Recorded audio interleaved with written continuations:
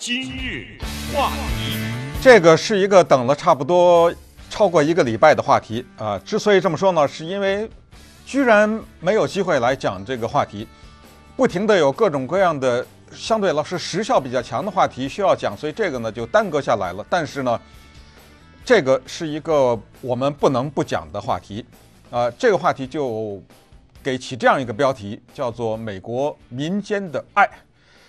这一点呢，在美国生活比较久的人，尤其是说和美国社会其他的族裔的人，包括白人呐、西域啊、黑人呐等等，打过交道的人，也许会有一些同感。美国民间的爱，它表现在很多的方面，其中至少有两个值得一提，一个就是对陌生人的慷慨的帮助。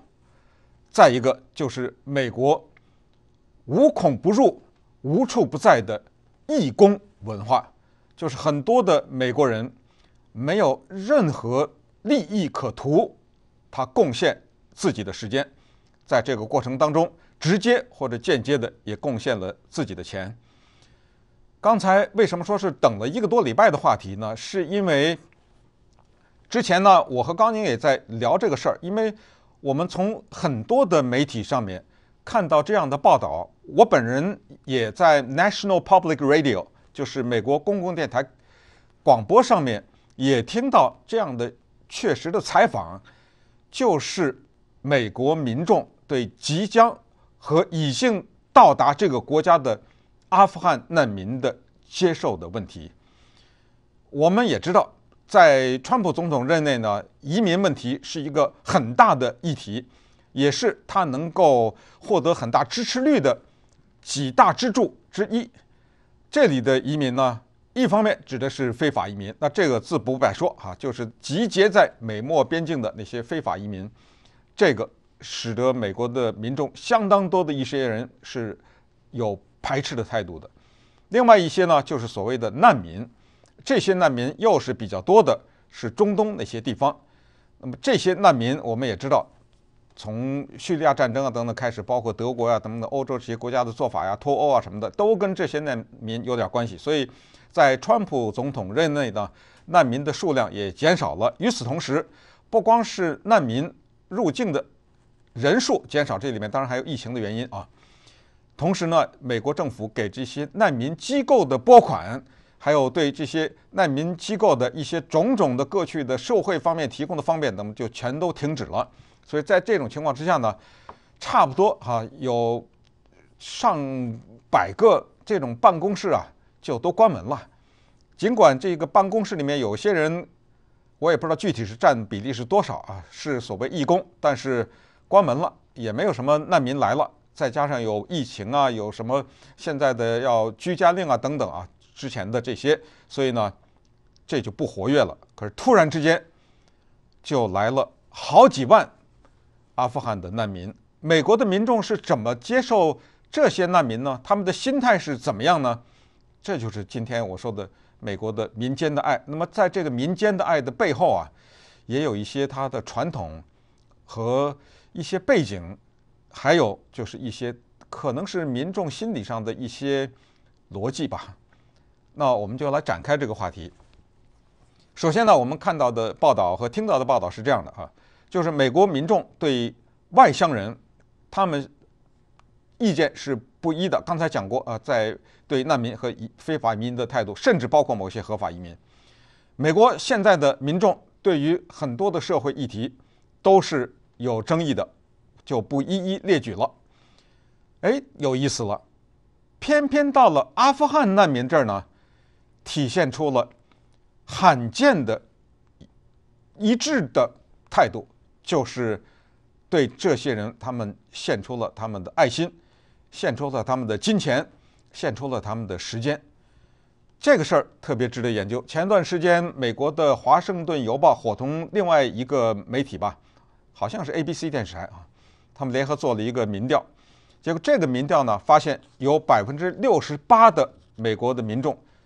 愿意接受这些阿富汗的难民，其中，请注意听，相当大的一部分是教会，也就是在这些报道当中，我们注意到，从亚利桑那到阿肯色，从明尼苏达到加利福尼亚，这些地方的教会，在接待阿富汗难民这个问题上是首当其冲啊。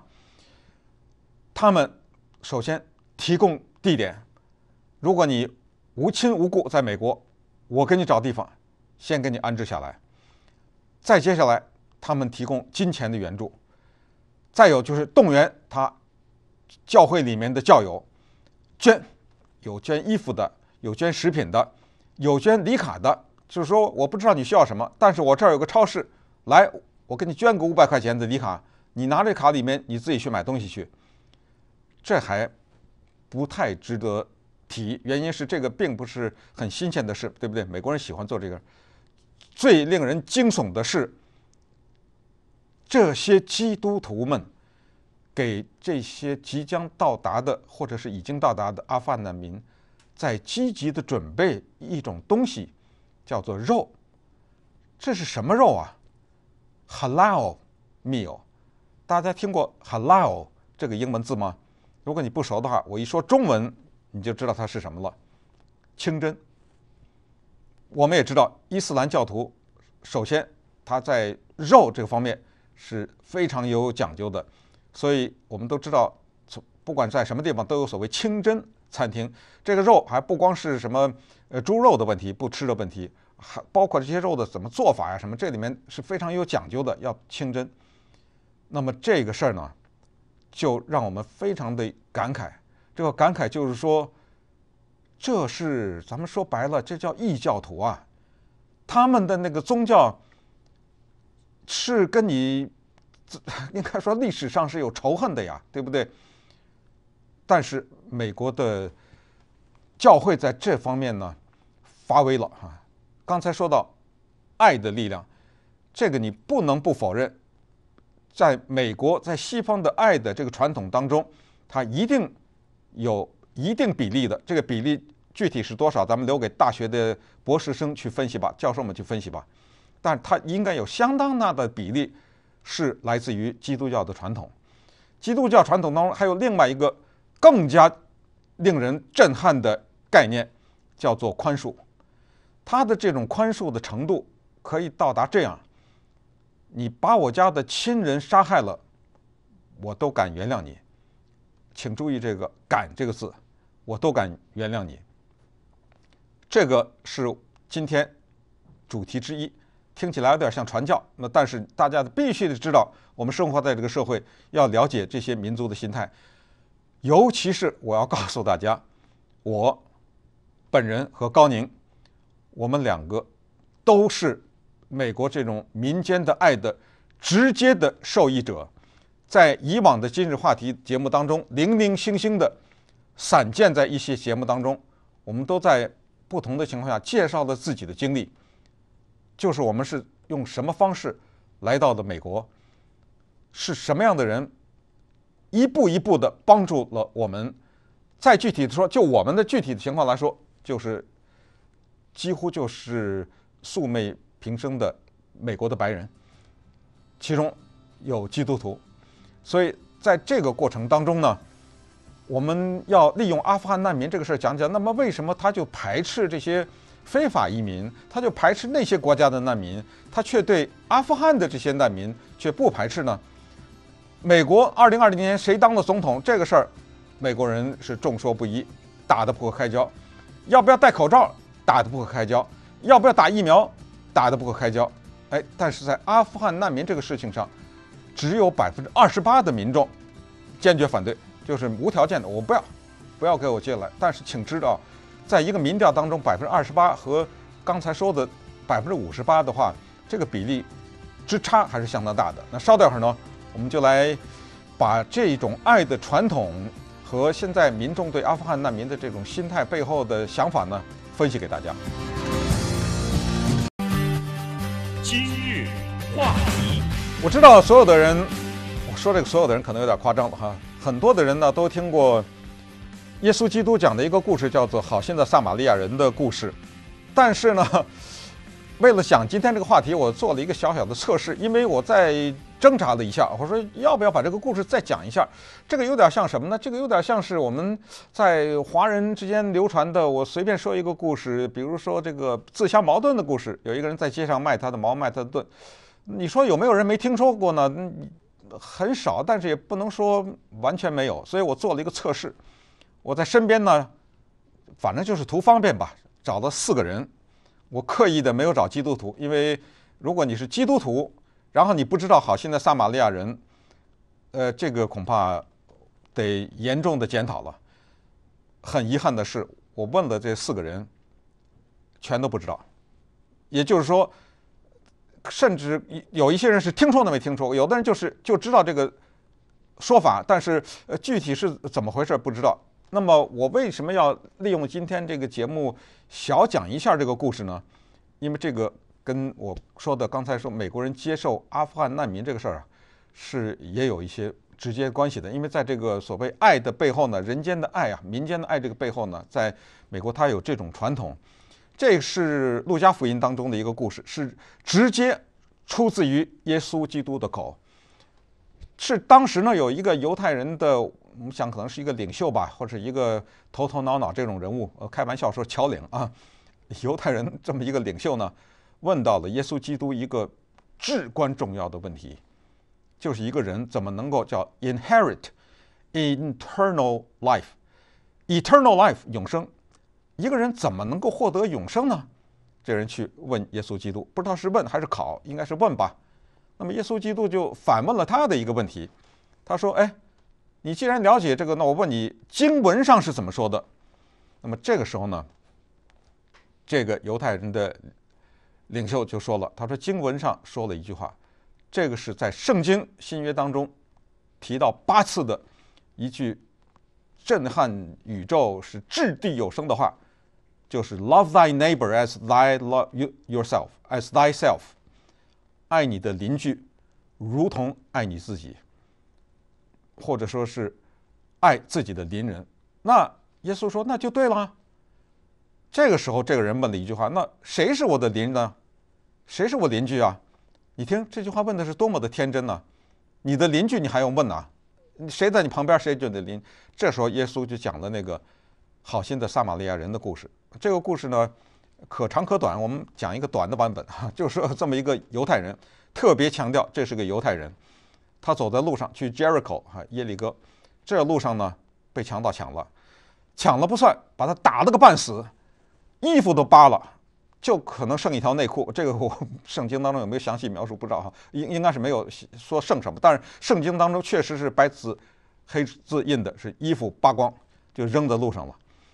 请注意，这个时候有一个犹太的祭司走过来了，一看这么个犹太人躺在这儿，走过去了。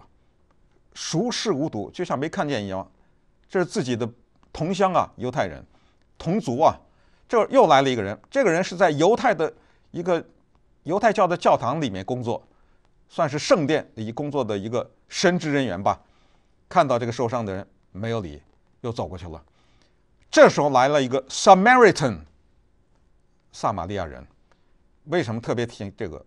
撒玛利亚人和犹太人世仇。死敌啊！这这真应了那句话：“他乡遇故知，死敌。”这个撒玛利亚人过来了以后，看到这个犹太人躺在这儿，非常的同情，给他把伤口包扎起来了，找了些衣服给他穿了。也许他那个衣服被扒了以后就扔在旁边了啊，就给他反正就穿了。这还不算呢，因为这个人已经被打了个半死了嘛，就把他拖到旁边的一个我们说那个大车店呐、旅店呐，就这种地方。拖到那儿去了，陪了他一天，照顾他，还付了店钱。走了以后，还嘱咐那个店主说：“这个人在这养几天，大概多少天？我先把钱垫上。呃，钱不够的话再来，我再来，将来我再来，你再告诉我，我再给补上。就这样，这故事就讲完了。这个就叫做好心的撒玛利亚人的这故事。讲完这个故事之后呢，耶稣人就跟那个犹太的首领吧，就跟他说了。”他说：“我想问你，在上述的三个人当中，谁是那个被打得半死的犹太人的邻居啊？你不是让我定义这个邻居吗？那这个首领就说：“哦，那是那个撒玛利亚人，因为他帮了那个人。”那么这个时候，耶稣基督就说了这句话：“说 Do this，这么办，and you will live，你就会获得永生。”这种故事其实它背后要是仔细分析的话呢，可以很多的角度。你可以站在那个被打在地上的犹太人角度，你反过来，你也可以站在这个撒玛利亚人的角度。在撒玛利亚人的眼中，他是做了一件坏事啊，不是这个人是他的族裔的人呐，你怎么可以帮助他呀？那过去他们怎么对我什么什么，这说不完了。他回去怎么见他自己的族裔的人呢？你从这个角度讲，还有另外一个角度讲，那位犹太教的祭司和那个在圣殿工作的犹太人，那两个人见死不救的那两个人，是不是就上不了天了呢？是不是就不能获得永生了呢？这些就留给神学院的学生去探讨吧，啊，显然耶稣基督并没有引申开来，但是这种故事为什么要用在这儿呢？就是说，在美国社会生活久，或者你在你的生活的阅读啊和对他的美国整个的西方的文化的接触当中呢，你会体验到这种东西。就刚才说的这个故事，The Good Samaritan，好心的撒玛利亚人的这个故事，你知道有多少油画吗？表现这个故事，你知道有多少次的在多少大的世界名著当中，小的平时的报上文章上的网上有多少次的引用吗？你知道有歌剧吗？你知道有各种电影的方式呈现吗？它变成了不光是一个耶稣基督讲的故事，它变成了英语语言的一个词汇，叫做 The Good Samaritan，就是你是帮了任何一个人，你帮了他忙的话。尤其是那个你看似不应该帮忙的那些人，你帮了他忙的话，这个你就会被叫成是一个好心的撒玛利亚人，然后由此引申出去，包括什么呃韩国电影啊什么之类，他把这个还能引申出变成别的东西，这是他的流淌在他们血液当中的一些东西，这是他他的文化基因的一部分。那么这个呢，回到今天我们要讲的阿富汗难民这个事情。可能是说，在这个问题上就一览无余了。那你可能问说，那他为什么美国人排斥其他那些？我觉得呢，这个里面美国人他讲究一个东西啊，特别是有的时候我们东方人会觉得他特别古板，就是他认一种道理，就是他说我认为合理的东西我就支持。比如说非法难民、非法移民，哎，你非法移民我干什么支持你呢？对不对？我要办人。我要帮助人家办事儿，得有点道理说得过去，就名不正言不顺，对不对？还有你说那难民哦，那些叙利亚什么那些跑来的难民，美国人当时就是指出，因为后来不是紧接着就发生了巴黎的那个惨案嘛。他说我也不是不帮助他，但是这些人来，他来炸我来了，他来杀我来了，对不对？我为什么要帮助他呢？所以他这个里面呢，要寻找一个他所能接受的一个立足点。那么阿富汗难民就给了他强烈的一个立足感，就是这些人冒着生命危险在阿富汗帮了我们，哎，这个就是美国人的逻辑，就是今天我也得反过来帮着他。顺便说一下，在加利福尼亚州、德克萨斯州还美国的华盛顿 D.C. 首都啊，很多呢有这种大的阿富汗的社区，这个阿富汗的社区肯定是帮着他们自己人的，而且。从阿富汗跑过来的这几万人呢，当中有一些人也并不是完全的非亲非故，但是没有任何的亲戚，没有任何的朋友，所以有这个。但是你得承认，还是有很多人真的是在美国谁都不认识，所以呢，他们构成现在的难民。据说呢，现在的这一批难民呢，就已经到达美国的是三万多了啊，到最终呢可能会超过五万。那有人说，哎，不对啊，弄出来十好几万呢？对，那个十好几万呢，最终到底有多少是分到了美国啊？这个我们还不知道，但是我们想呢，我也想特别想利用这个机会，嗯，简单的抛砖引玉的讲一讲，就是存在在美国当中的这种民间的爱。那借着这个话题，大家也可以找机会思考一下，看看自己有没有在什么时候体会过这种爱。